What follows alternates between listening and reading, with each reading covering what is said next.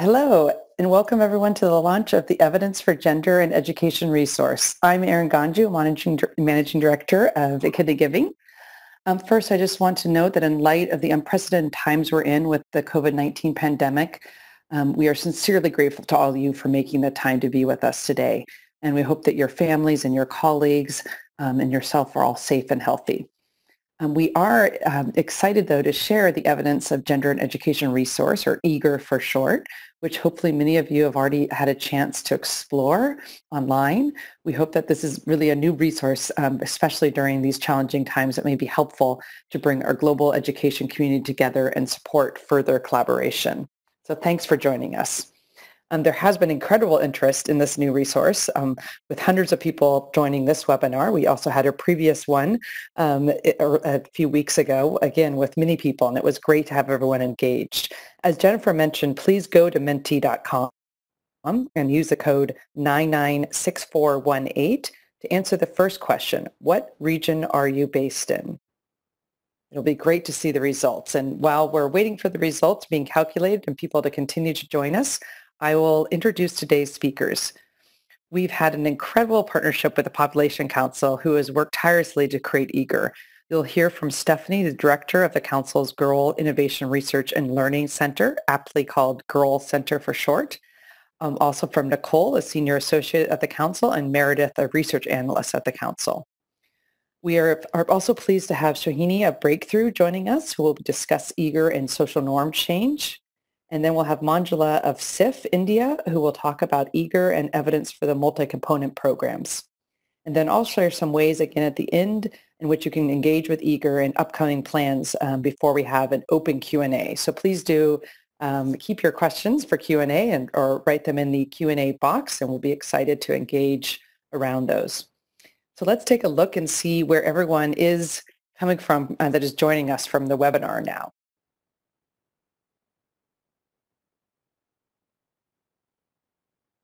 Be sharing those results. And it looks like we have a um, very good uh, turnout from South Asia, which is great to see. We have a number of North American members too, um, likely from the East Coast, given the time zone. Uh, we have many people um, globally then as well, from Sub-Saharan Africa, East Asia, Latin American components. So it's great to see the global nature. Thank you so much all for joining us. Um, and so moving on, um, we at Echidna Giving have had the incredible pleasure, as I mentioned, of partnering with the POP Council to help create EGER because our sole aim as a private funder is to support quality, gender-sensitive education for both boys and girls in lower income countries. We've been funding work in the gender education space for over a decade, yet we still really struggle with the fundamental questions around how do we connect evidence and impact in our sector. We're continually asking ourselves, you know, do we really know what works best for girls at different stages in their education life cycle? And where was has the world made progress in helping girls? And where are there persistent gaps and challenges still? What, why is it so hard to connect the great work of many nonprofits with rigorous evidence? And why do we as funders continue struggling to understand what is best to fund? Where should we be seeking to scale up strong evidence-based programs? And where should we fund new innovative approaches? And we figured if we're struggling with a lot of these questions and understanding them, perhaps other key stakeholders are too that are working in the gender and education sector. And what evidence and impact are we all seeing that maybe others are, are um, challenged with or how can we share better? And so with that, we decided to really help create a resource for the whole community so we can learn and share together. The goal of understanding the creation of this open and accessible database for key stakeholders in the gender and education sector globally, as well as a systematic review of the evidence to help really drive two things. First, to drive more focus on smarter investments and better evidence-based programming. And second, to build new collaborations and partnerships to drive implementation and progress forward. So that's what we're hoping the goals of, of EGER can help with. We at Echidna Giving are really still in a learning journey, not so much about why does gender in education, why is it important? We think we all know and agree on the why, but really about how to best use education as a strategy to support boys and girls. So with that, I will hand it over to Stephanie and her team to share more about EGER. Great, thank you so much, Erin. And I want to just um, echo Erin in thanking all of you for joining us today, especially in such difficult circumstances for so many around the world. As Erin said, we're hopeful that this resource can help to bring our community together at a time when we can't be together in the same space. So as Erin also mentioned, this work has been led by the Girl Center, which is a global hub of research and thought leadership that generates, synthesizes, and translates evidence to ensure that investments in adolescents and young people, especially girls, are based on rigorous evidence. And although the Girl Center focuses on adolescent girls, this resource is broader. It includes information relevant to girls and boys from early childhood to early adulthood. So the work of the Girl Center is focused on expanding opportunities. And a key part of that work is making sure that young people have access to high quality education.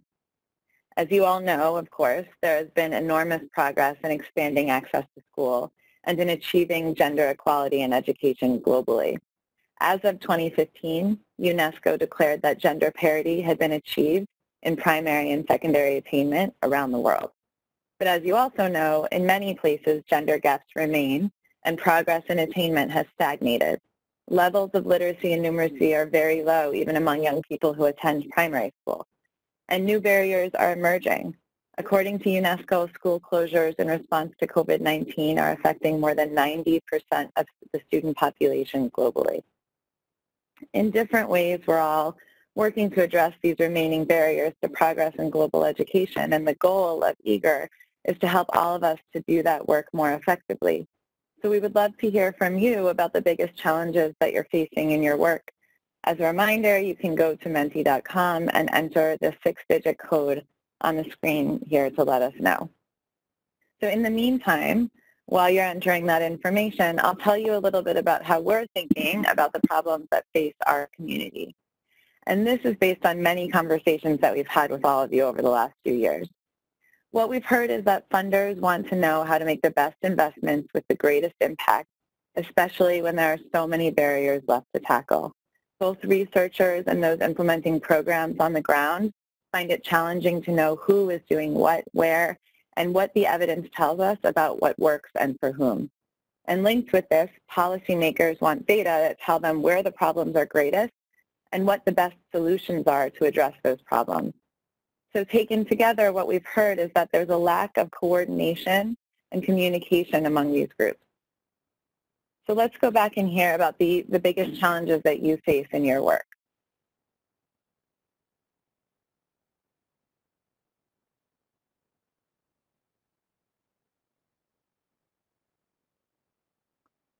Okay, so it looks like you perceive all of these to be challenges in your work as well, and that's consistent with what we've heard. But the leading challenges here look like they're finding funding and finding evidence of what works. And, and that links back to, to what I was mentioning earlier, which is that funders are also finding it challenging to make sure that their investments are focused on what works. So we're thrilled to share this resource with you that can help bridge some of these divides.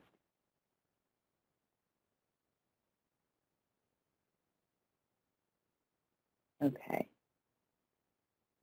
So what we're hoping is that EGER can help be a part of the solution. The goal is to foster connections between organizations and programs and to help identify where needs are greatest, to curate evidence about what works for whom, and to drive smarter investments.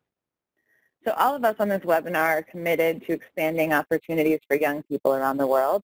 And while we know, of course, that no single website can do that on its own, we believe that EGER is a critical step on our shared journey to achieving that goal together. So you're probably anxious to just see what's in this website if you haven't had a chance to look through it on your own yet. And I will hand it over to my colleague Meredith in just a minute to walk you through the site itself. But first I want to quickly give an overview of the information that's included. We've focused initially on low and middle income countries, and we're approaching this from the perspective of three core pillars of information where the needs are greatest, what is current practice, and what is the evidence of what works. So first, we've included information on where the gender and education needs are greatest, drawing largely on sustainable, sustainable development goal indicators. We have also mapped who is doing what and where in global and gender and education, and to do that, we've initially focused on organizations that meet three criteria. The first is that they work in more than one country, the second is that they have an annual operating budget of about 1 million US dollars. And the third is that they work to address gender in education, which we've defined broadly to capture any work that might help address gender-related barriers to education, including practices like child marriage. So the third pillar of information in EGER is evidence of what works. And the evidence comes from both existing literature as well as a new systematic review that we're finalizing right now. So how do we know what works?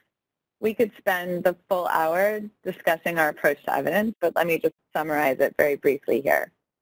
In terms of existing evidence, we're pulling in results from recent systematic reviews and rating the strength of evidence for each approach and outcome pair. So for example, does teacher training work to improve literacy? We're also addressing a gap in the evidence through a new systematic review that's looking specifically at interventions designed to address gender-related barriers to schooling. The full results from that review should be out in the coming months, but we're sharing preliminary findings through the site between now and then. So in both cases, the existing evidence and the new evidence we tried to maintain rigorous standards, which means that results from individual studies or the gray literature are not fully represented here yet, but we're looking forward to continuing to expand on the evidence included in the coming months and years. So before turning over to Meredith to do the live demo, I just want to ask one more question. And again, you can share your responses on menti.com. And that is, what are the most common gender-related barriers to education in the settings where you work? So while you're entering those responses, I'll just tell you a little bit about how we're thinking about this. In designing our systematic review, we had to put together a list of gender-related barriers. and much of this thinking has come from the work of your organization. So we're thinking about perceived barriers in terms of how they impact three broad levels, the community, the school, and the household.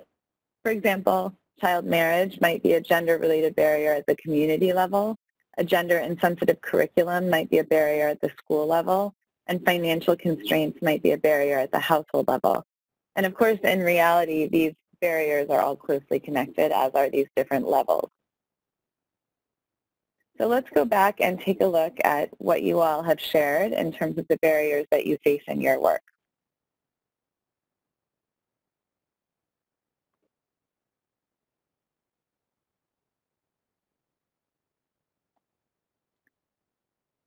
So interestingly, there are a couple that are emerging pretty clearly. Um, one is child marriage, and, and the other is lack of support for girls' education. Um, and of course, these are these are closely related in a lot of ways. Um, another another couple that are emerging, and it's great to see the different answers coming in, are financial constraints, gender-insensitive school environments, and inadequate life skills. Um, so it's fascinating. Please keep sharing your, this information. We'd love to hear more about the challenges you're facing. So I'm happy to turn it over now to my colleague Meredith, who will walk you through the live site so you can continue to explore on your own. As you explore the site, please keep in mind that it's live, but it is also a work in progress. We wanted to soft launch the site to give you all a chance to interact with it and share feedback and we've gotten some amazing feedback in the last month since we originally launched it. But we also are continuing to add data and fix bugs here and there. So with your input, we look forward to a full launch this fall, along with a gender and education roadmap, which Erin will talk a little bit about later. So with that, I'm happy to hand it over to Meredith. Thanks, Stephanie. If you'd like to follow along in our live demonstration, please feel free to excuse me just a moment. Um, please feel free to enter the URL um, on your screen, which will be coming soon, um, www.eagerresource.org into your internet browser, and you can follow along in our live demonstration. Great. So before I jump into sharing my screen, um, if you'd like to take a minute just to pass that along, um, and head to the website. We'll get started in the live demonstration in just a moment.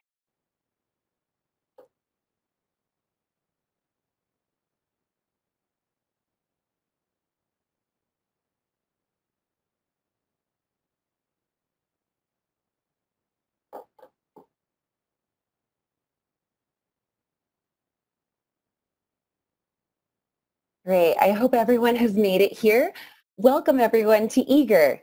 As Stephanie mentioned, this resource brings three different kinds of data together to provide a 360 degree view of the gender and education space.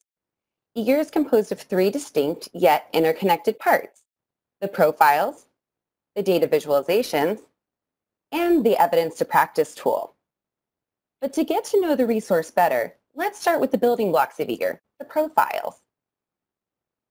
Users can find details on over 250 organizations and 500 programs that are currently active in the gender and education space. We are always adding new profiles, so check back often. You can peruse the list of profiles here or search for a specific organization to find out more.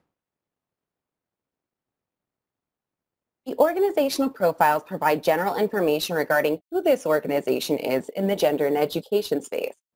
That green check mark next to the organization name means that the information has been verified by the organization itself. If there is no check mark, the profile contains data we've extracted from publicly available websites and materials. From the organizational profile, a user can get a better sense of this organization's areas of work, any partners or funders an organization may collaborate with, background information on this organization, as well as any current girls' education activities this organization may be affiliated with. If you'd like to explore a particular program further, click on any of the projects listed here to view their program profile. As you can see, similar to the organization profiles, users can find details on a specific gender and education program, including what topics the program addresses, who the program is targeted towards, and what approaches are being used to reach this program's particular program goals.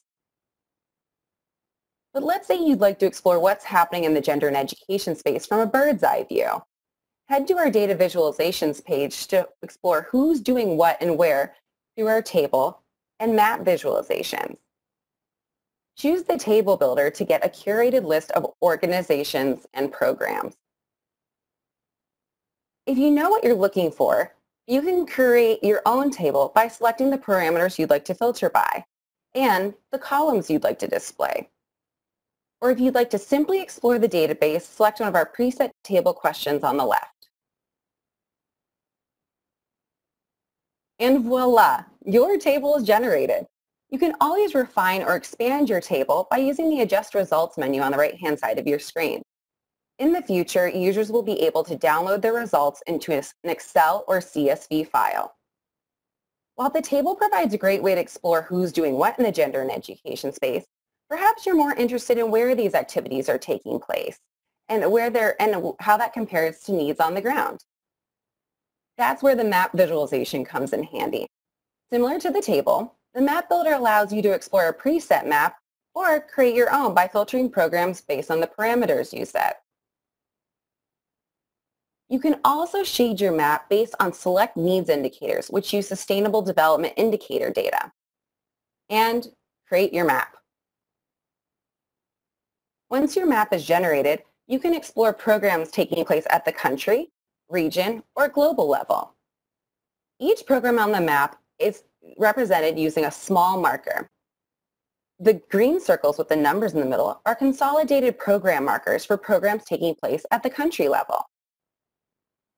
Click on any of the program markers to get more information as well as a link to this, pro this program profile. You can also check out programs taking place at the global level by clicking on this blue circle here or look at regional level programs represented by the purple circles. The last element of EGER is the evidence to practice tool. This tool takes research evidence from diverse disciplines and distills complex results into simple to use messages on what works in gender and education. In this tool, you can explore which approaches are most effective to achieve a specific outcome. Or if you're already using a specific approach and you'd like to see which outcomes that approach affects, you can search outcomes. So say we want to know what approaches work to improve girls' literacy. You can select lit increased literacy from the drop-down menu here and view your results.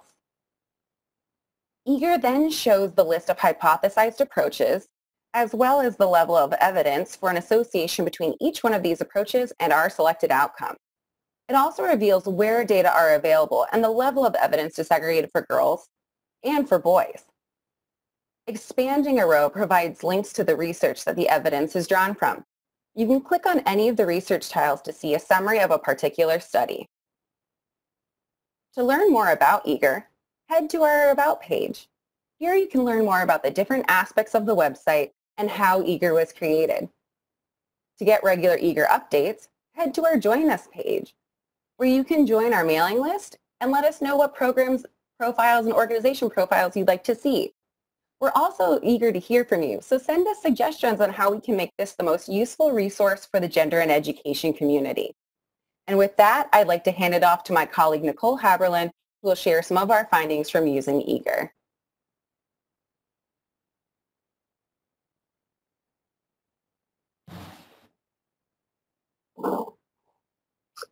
Thanks so much, Meredith. Hello, everyone. Um, before we explore EGER further, I just wanted to say to everyone who has joined us on this webinar today that one of the most rewarding things about this project has been learning about the amazing work that you all have underway. So while we will continue to expand the database of programs and evidence that underlie EGER, there's enough data entered to start seeing the emerging contours of the gender and education field field is organic and it'll undoubtedly continue to grow and shift and EGER itself is dynamic and will reflect those changes.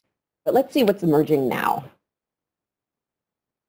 Using the Venn diagram Stephanie introduced as a frame, let's take a look at the alignment and synergies as well as gaps and disconnects between needs, practice, and evidence. So this is the EGER map of current programs that focus on school-related gender-based violence, or SRGBV if we're going to invest more in this work, we need to know what programs are out there, who is implementing them and where, what types of programs have demonstrated effects, not just on reducing violence, which is important in and of itself, but also improving education outcomes, what are the evidence gaps, where would investments in research and evaluation be best directed, and EGER can help us explore all those questions. So this is a table of SRGBV programs generated with EGER with columns selected to display the program name, program type, lead organization, and countries in which the program is active. A quick query in EGER shows us that there are quite a large number of organizations working on SRGBV.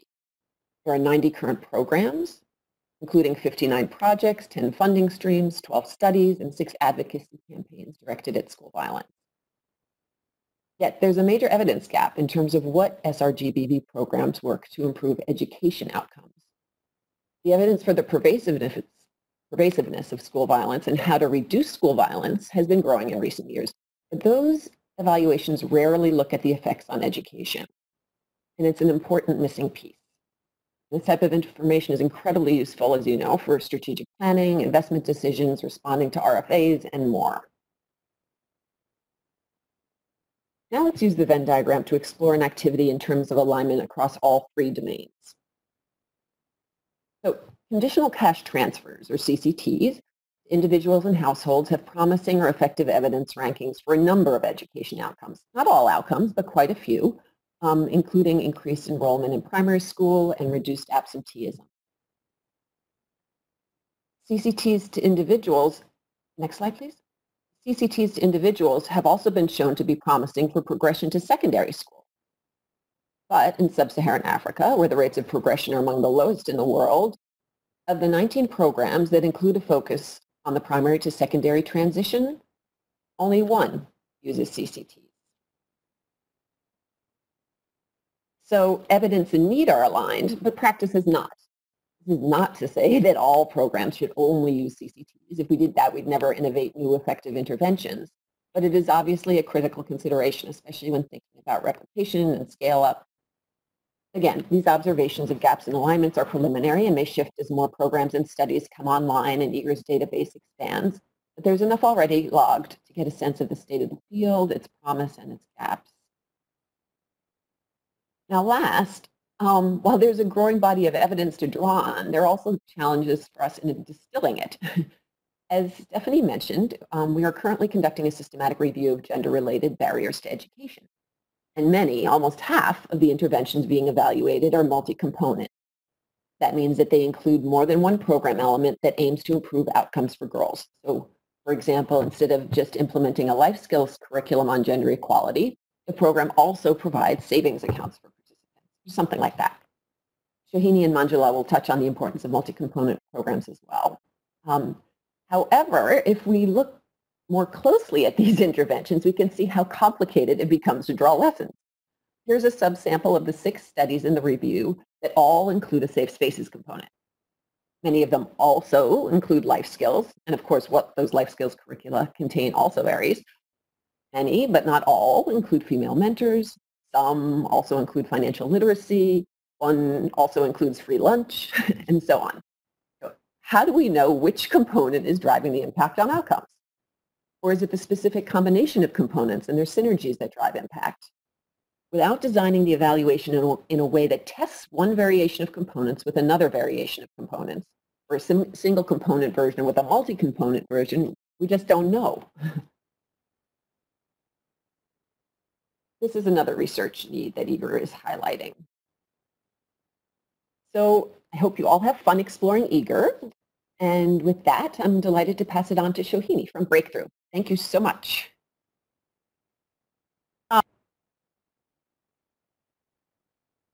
morning to. Um, I'm Sohini, I'm the CEO and President of Breakthrough. Um, and can we go on to the slide on Breakthrough, please? So Breakthrough uh, has been working for the last 20 years to make violence against women and girls unacceptable. You can read all of that, so I'm not going to uh, you know, waste my very small time uh, talking about the organization so much uh, rather than talking about the research. Um, one of the things that I want to mention is that when we saw child marriage as one of the barriers to girls' education, it goes a little bit deeper down than that. So our work um, actually focuses on the norms that actually pro prohibits girls from going into education and enables child marriage, right?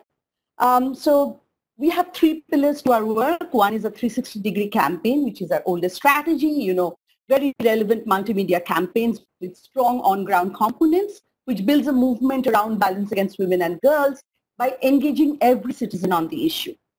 We have a deep transformation model, which is across the 15 districts where we are currently in, uh, 1,200 government schools, where we demonstrate the shift in social norms through deep engagement. And we ground it on a social ecological model that builds a movement from me to we so, you know, we start with an individual, you look at the family, the community, and finally the institution. In this case, it's a school. We scale up what works by sharing the evidence with larger collectives like the EGER, other organizations, governments, both inside and outside of India. So the deep transformation model, which also, you know, uh, enables child marriage, it actively examines questions and helps to change rigid gender norms, you know, and imbalances of power. So it's, it's very interconnected. If you look at power dynamics in relationships, if you look at gender and sexual norms and values, and you look at women and girls empowerment and engagement of men and boys, these are all connected in our work. And this is used to address the harmful norms and cultures that do not allow women and girls to reach their full potential or enables child marriage or inhibits their access to you know, higher education. Uh, in India, you know, girls between the age of 14 and 18, 50% of them are almost out of school. And a lot of that is actually because of the harmful gender norms and practices. So when we enter a geography, we focus on the relevant issue in that geography so if it's in Jharkhand and Bihar, we'll focus on early marriage. If it's in Haryana, we'll focus on gender bias sex selection, sexual harassment if we are in Delhi. And we encourage critical awareness of gender roles and norms and building agency of women and girls to raise these questions. So, and you know, coupled with that, engaging men and boys so that they can become an integral part of the solution as allies, you know, and recognizing the harmful pressures of patriarchal norms on them. They're not free from those at all. And then together with the community, family, governments, questioning the cost of this harmful inequitable gender norms in relation to adolescents' education and health outcomes. So directly sometimes through convergence dialogues and uh, you know, consistent conversations and sometimes indirectly through media campaigns to build a greater gender sensitivity and reduced acceptance of violence against women and girls. Um, can I have the next slide, please? So as an organization working on gender norm change, especially in the area of violence, uh, can I have the next slide, please? Especially in the area of violence, you know, you often feel very alone since not too many organizations work on this, not too many strategies are available, and plus it is a very slow process. So EGER actually gives us an opportunity to quickly identify partners in this space, read about you know, diverse strategies, find potential partners, and to inform our advocacy work, maybe with other partners globally. So I will use the uh, EGER's table data visualization to find, you know, how many programs are there addressing social and gender norms. Can I have the next slide, please?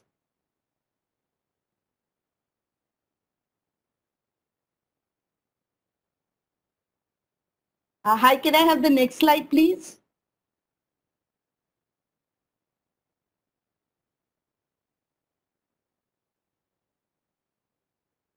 Ah, thank you so much. Uh, so, um, so you know, if you look at that, the uh, the kind of uh, kind of you know gender and social norms that inhibit girls' access to school and uh, and and and school at this point of time education, we'll find that there are 87 organizations that addresses social norms. Um, 174 current programs that include 109 projects and you know about 21 advocacy campaigns and 15 funding initiatives and 21 studies. What does the evidence say? Can I have the next slide, please? The evidence says that harmful and restrictive gender norms underlie a host of adverse outcomes, including, you know, child marriage, sex-selective abortion, girls' access to, you know, beyond secondary education, uh, Breakthrough's own RCT on gender norms change across a sample size of 15,000 adolescents across 314 government schools show that significant behavior and attitude change was possible after two and a half years of rigorous intervention. But we were not able to move the needle much on education. So efforts to change gender norms not always affect education outcomes our effort is here. It's not robust. It's robust, but it's not yet backed by rigorous evidence. As of yet, the effects of social change on education outcomes is not really very well known and more research is needed in this. I'd like to talk about our you know, experience when actually moving the education needle. Can I have the next slide, please? Um, so I, uh, you know, since evidence on gender norms is rare and not robust all the time, we are conscious about building a body of evidence on the key levers to achieve transformation. I spoke about the RCT on reshaping gender attitudes, gender equitable attitudes and behaviors among boys and girls, effects that persisted years later at the second follow-up. We are now partnering with J-PAL for a long-term follow-up to see whether the same behaviors persist for the boys and girls who were 11, 12, 13, 14 when we did this program with them when they're 18, 19, and 20. And uh, know we are expecting some interesting results. However, no adverse impact on um, on education outcomes, though, you know, despite displacing academic subjects, but no beneficial outcomes here. Interestingly, another randomized controlled trial of our program to prevent early marriage in Jharkhand and Bihar over a five years period, you know, showed very interesting results. So we had definite elements, uh, uh, definite elements with the program, which was uh, definite elements with the program, which was, you know, one of them was just media campaign. One of them was media campaign plus training plus, you know, dialogue in the community plus, you know, working with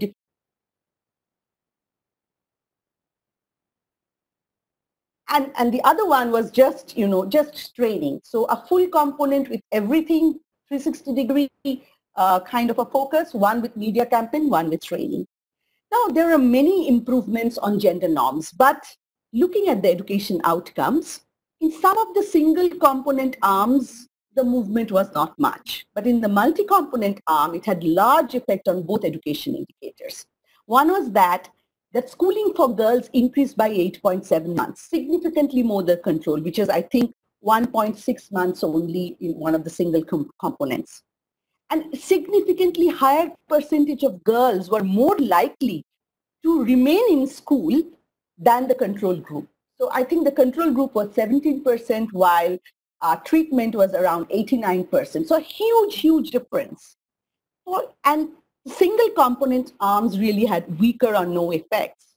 So the mass media campaign only arm did not have a significant effect on percentage of girls enrolled and only increased months of school by 1.6 months, not significantly different than the control group. So a diversified uh, 360 kind of an approach working with multi-stakeholder over a long period of time actually gave us really, really good results to look forward to. So I will stop now and I'll hand it back over to Stephanie uh, to introduce Manjula. Thank you so much, Sohini. It's great to see the results from that RCT and, and to be able to integrate that evidence into the platform we're building. Um, so with that, I will hand it over to Manjula to share more about her work. Thank you so much, Stephanie, and hello to all of you from Delhi. The Children's Investment Fund Foundation, or CIFF, is the world's largest independent philanthropy dedicated to children's issues. We exist to work on the toughest problems facing children, and these are those that are technically challenging or politically complicated, or as is usually the case, both. We were set up because the cause of children and adolescents is ignored by many, and that is mostly because their voices are too soft and their arms are too weak to make societies and governments and the development organizations prioritize them. Girl Capital, which is what I lead and what, what we call our effort to empower girls and young women through education, skills and income, is a perfect example of under-resourced, under-prioritized, technically and politically complex area. This is a strategy that we launched last year, but the genesis of this was 15 years in the making. We have been on this quest for Silver Bullet, a therapeutic food to address malnutrition contraceptive choices for newly wed women, a safe birth checklist to reduce maternal mortality. All of these are important but rarely address the root cause. A eureka moment came in when we understood that there was a fundamental power imbalance at the family community level against girls. Unless we address that, we would never be able to effect change a big enough or fast enough. What does this empowerment look like? Simple. If the girl had a chance to earn incomes, it would make others view them as assets rather than liability, hence the name Girl Capital. The way this was going to be achieved was through education, skills and income. Similar to Erin, my main goal is how to maximize the long-term impact of every dollar of precious philanthropic money, but existing evidence does not have all the answers. As Stephanie said, EGER is finishing a systematic review of education-related interventions for girls and have identified policy, household, school, and community barriers.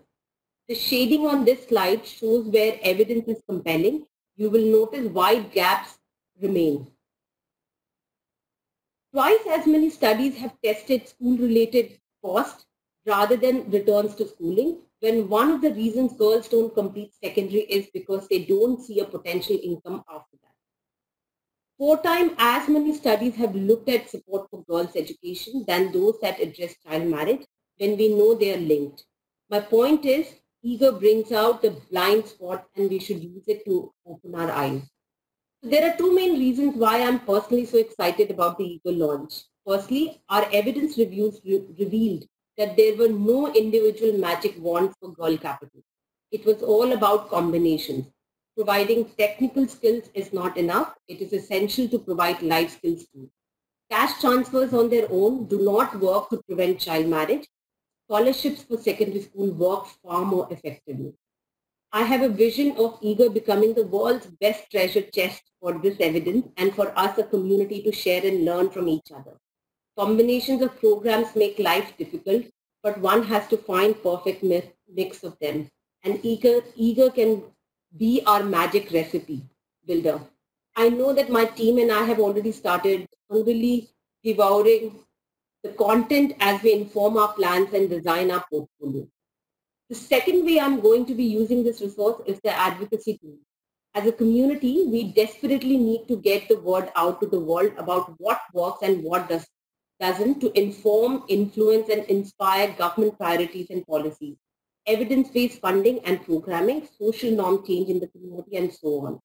We should challenge ourselves to communicate the evidence we have, otherwise it remains constricted in our own little bubble. We need to welcome journalists and politicians and policy wonks we also need to be actively sharing content from here with them in the form of infographics and two-page policy briefs and white label report summaries. Finally, I do want to leave you with this image from the classroom in Rajasthan. Can we have the last slide, please? Thank you. Look at the life in the eyes of girls who have a chance at secondary school. That is what is, it is all about. We have it within ourselves to give millions a chance to achieve. Thank you.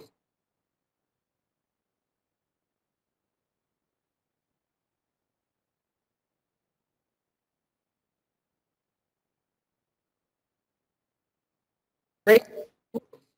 Thank you so much, Manjula and Sohini. It is really wonderful to have you join us, and we're thrilled with the enthusiasm you have for EGER, and we hope that it's a valuable shared resource for all of us. Um, so now that you've all had a chance to preview EGER, we hope that you can see how it can be a resource um, for the whole gender and education community. And most importantly, we hope that you will join us in being involved in EGER. For EGER to really be a, you know, an action-oriented resource that we intend it to be, it's, we have to have the most up-to-date and useful information on the, on the community, and we need to be able to be sure that the community is aware of it. So we genuinely want to know how we can make it more useful for you. So once you've had a chance to explore the EGER website and dive into it, um, we hope that you can add or update your organizational or programs information if you're already using EGER. Um, we have the following links in here um, for you to be able to do that. Um, and if you have feedback or suggestions, we, we genuinely welcome them. Um, or if you have ideas on organizations or programs to add, um, please reach out on the uh, email address here. And we hope that you can also uh, think about people in your network um, to share this resource far and wide with. This is just a first introduction of EGER. It's a living resource, as we've been saying throughout the webinar, um, that will be updated with information about ongoing programs continuously. We want all of you to know that we're very committed at Echidna Giving to continue to support EGER as long as the educational field really uses it and finds it valuable. So your investment in time in contributing to EGER and helping share your feedback is one we're really committed to taking seriously and helping to support this and sustain this great uh, resource for all of us. And as I think evidenced by the participation of our panelists and information EGER um, that from donors and partners, uh, so many of us are committed to this resource. So please share your thoughts and feedback. So now what's coming next? Well, the POP Council team will share new data visualizations in the coming months. They are also working on a roadmap for the gender and education field that will be coming in the fall of 2020 around October, which will pull together some of the most important findings from this work and share recommendations with the community. This is really just a preview today that we've been showing you, and so we'd welcome your thoughts again on, on areas that you'd like us to dive in more to. Um, but we do hope to share more of those recommendations coming in the fall.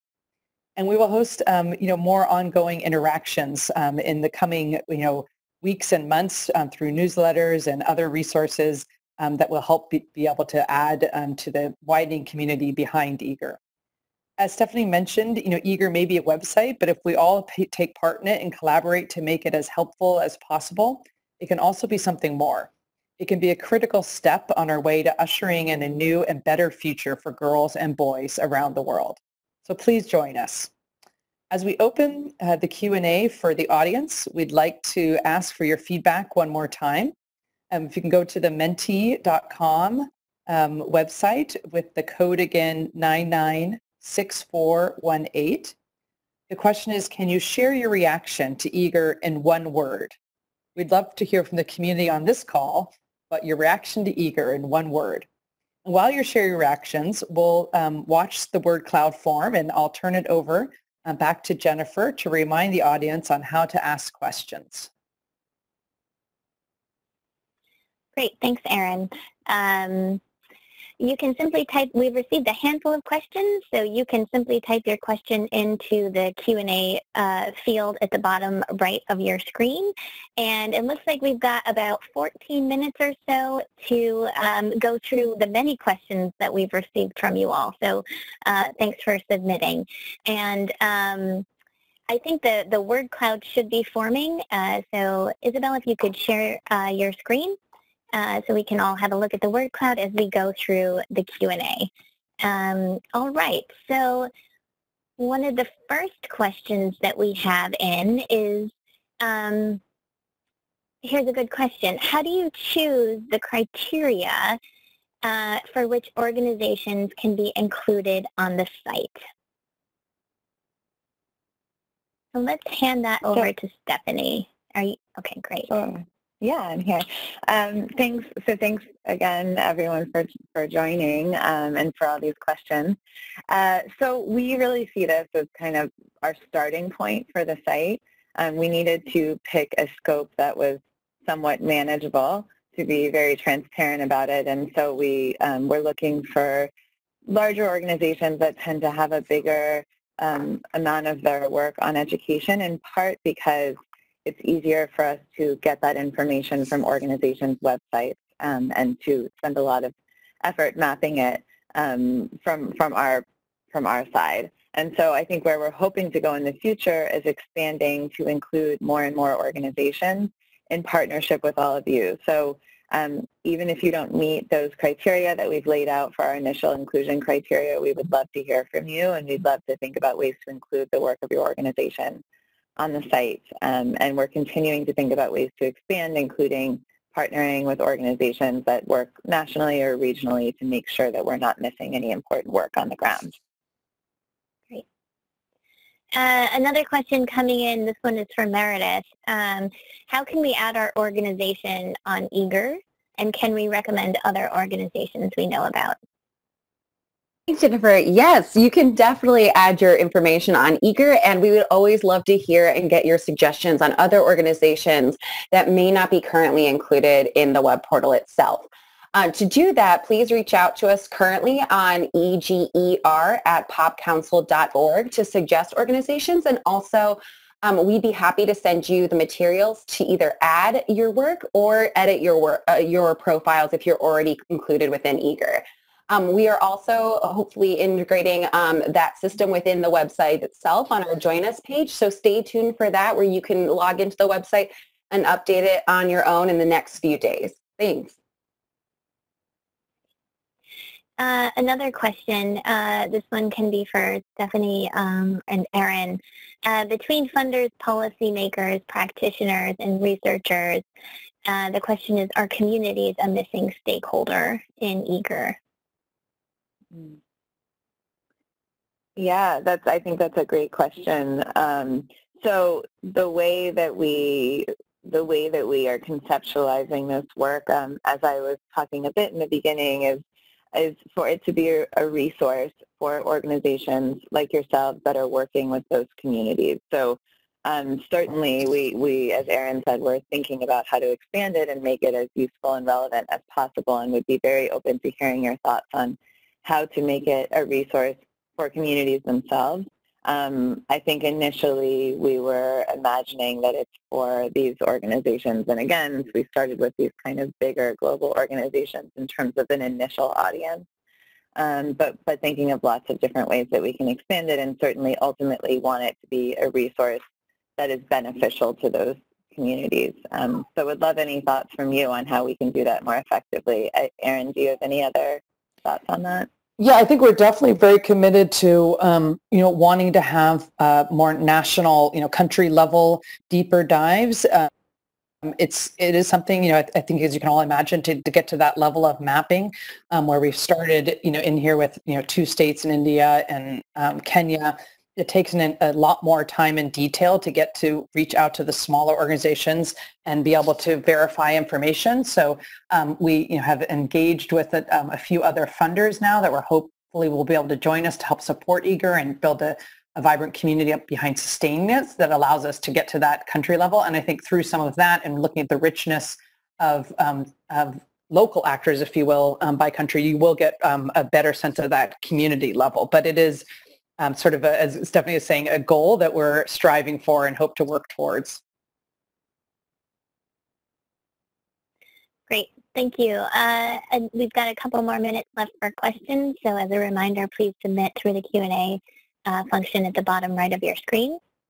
Another that did come through, um, I think this could be for Nicole, Stephanie, or you, Erin. Uh, will COVID-19's economic impact and recession further worsen girls' access to education, skills, and jobs? Oh, it's a big question. I'll I'll start and then um, and then see if Nicole or Erin, you have anything to add. Um, I mean, I think it's undeniable that that COVID-19 is um, having all sorts of clear, immediate impacts and also probably longer term impacts that it's difficult for us to even anticipate at this point. I mean, I mentioned in the beginning that um, more than 90% of, of school-age young people are experiencing disruptions right now because of COVID-19, and I think we all know um, in our work how um, how how the long-term impacts of that can play out. Um, often, especially for girls who uh, might miss school temporarily and then you know get married or um, get pregnant or you know be removed from that that longer-term opportunity um, for for the rest of their lives. So um, I, we, it's something that we have been thinking about quite a bit, and um, I'll say our, our office in India, um, as well as a number of our other offices, have been doing some amazing work collecting data to try to understand the longer-term impacts. Um, and and so, yeah, we would love to, to hear from you about it and keep thinking about it together. Um, yeah, I wonder if um, Sohini or Manjula, you might have other thoughts on that question or, or perspectives of what you're seeing in your work. Uh, one of the things that I'd like to highlight always, and I always like to do that, is that um, very often uh, we need to actually prepare both our communities and our, you know, girls and boys, uh, you know, the to be able to work. You know, it's not always whether there are jobs, whether there are, you know, employment opportunities, but very often, you know, the social um, norms to prevent women and girls from going out to do things that they want to do. And so that is again something that I'm going to bring back to social norms and say we have to also address those kind of issues before we you know jump and say yes, you know, from education to employment is a good step, but there are many uh, barriers to that.